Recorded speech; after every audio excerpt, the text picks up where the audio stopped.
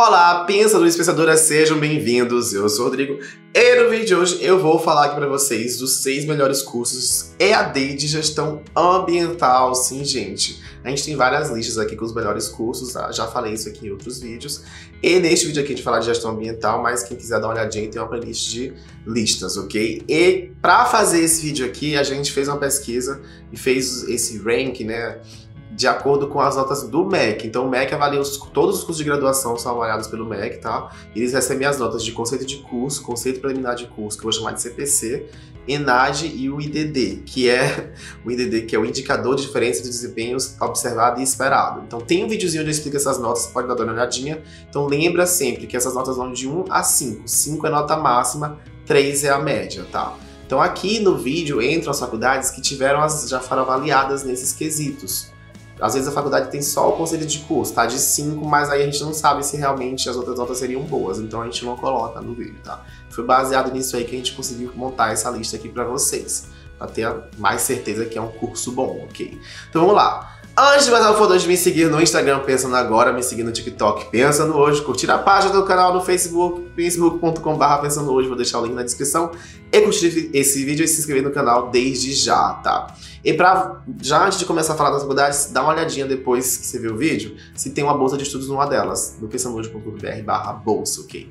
Então vamos lá. O curso de gestão ambiental, para quem não conhece muito bem, é um curso que é voltado para a preservação do meio ambiente, gente. Então, o profissional dessa área deve ser capaz de auxiliar as empresas a diminuírem o quê? O impacto ambiental, ok? E tem toda essa questão de sustentabilidade também. Então, é muito bom para quem quer trabalhar para o governo também, porque órgãos do governo, ONGs também, precisam muito desse tipo de profissional, ok? Daí você consegue atuar bem de maneira impactante. Não dentro das empresas, às vezes, é mais em broma do que outra coisa, dependendo da empresa, né? Só para fazer bonito.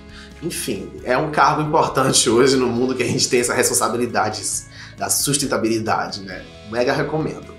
Então vamos lá, na nossa lista aqui a gente chegou com o primeiro lugar a, a Uninove. Lembrando aqui, gente, a lista não é necessariamente primeiro, segundo, terceiro, quarto, quinto, sexto, tá? Algumas vão ter as mesmas notas, então aqui a Uninove se destacou. A Uninove teve conceito de curso de 5, teve conceito preliminar de curso de 4, CPC, o ENAD de 3 e o IDD de 4. Então ela foi muito bem em todas as, as avaliações aí.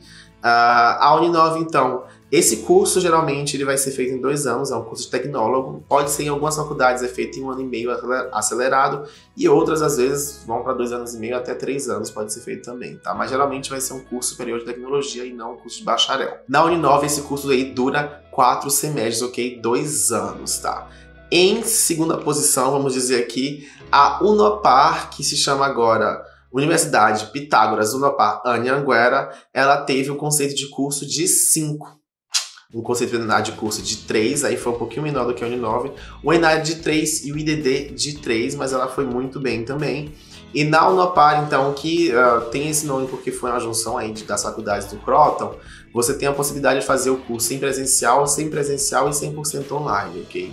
E ele é oferecido também nas outras faculdades, na, na, nas outras marcas aí do grupo, Pitágoras e Anhanguera, tá? Mas vocês vão ver aqui no vídeo também que também entra a Uniderp, que também é Anhanguera. Mas enfim, então na Unopar esse curso aí vai durar seis semestres, gente, vão ser três anos. É um curso que na Unopar é mais pesado, tá? Ele é dividido em ciclo básico e ciclo profissionalizante, por isso que ele é bom, talvez.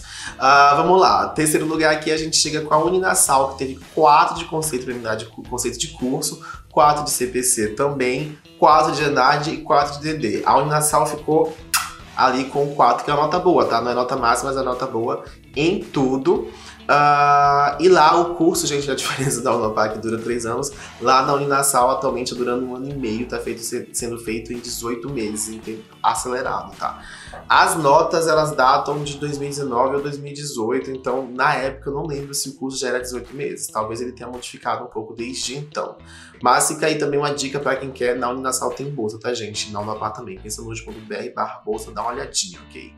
Já uh, em, depois da Uninasal, a gente chega aqui com a Uniderp, que teve 4 de conceito de curso, 4 de CPC, 4 de 3 de ENAD e 4 de IDD, ok? A Uniderp se chama então, gente, a Universidade Anhanguera Uniderp, ok?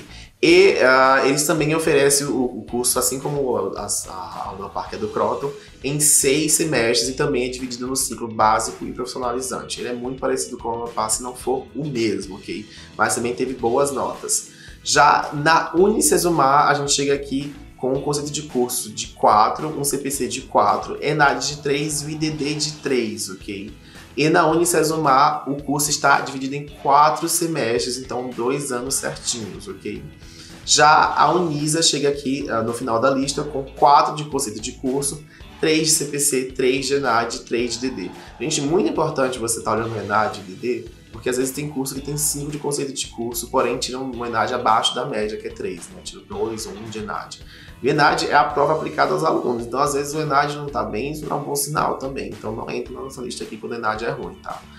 Uh, na Unisa, o curso tem duração de quatro semestres. E também, então, é o que teve aqui menor desempenho, mas também dá olhada, vale a pena você dar uma olhada na Unisa. E para você conferir todas essas faculdades aqui, a Unisa, a Unicesumar, a Uniderp, eu não tenho certeza, a Uninasal e a Unopar Uninove, elas têm playlist aqui no canal que eu vou deixar na descrição, onde você pode estar vendo vídeos, onde eu falo da faculdade, falo das aulas, mostro virtual, comento vários outros temas aí em relação a essa, essas instituições. E assim, isso aí te ajuda a escolher. E lembrando, então, para conseguir bolsa em, na Uninasal, na Anhanguera, na Unicesumar, na Unopar, na Unisa não sei, uh, na Uninove também não tenho certeza, você acessa aí, pode ser que tenha pensanojo.br barra bolsa, ok?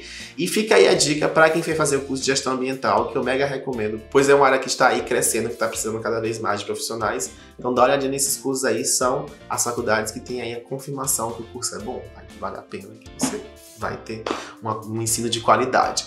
E se você gostou desse vídeo, por favor, não deixe de curtir, não deixe de comentar se tiver alguma questão em relação ao curso de gestão ambiental ou qualquer outro tema aqui do canal, tá? Uh, você pode deixar também uma sugestão de vídeo, uma crítica, um elogio, um agradecimento aí nos comentários.